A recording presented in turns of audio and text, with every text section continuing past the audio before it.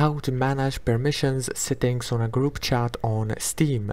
Hello guys, so all what you have to do is go to Steam, this is the home page, now click on the group chat that you want.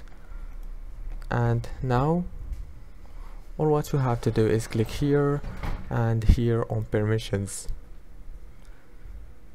Right here you can manage the permissions easy and fast don't forget to like subscribe. Thank you for watching. Until the end. See you later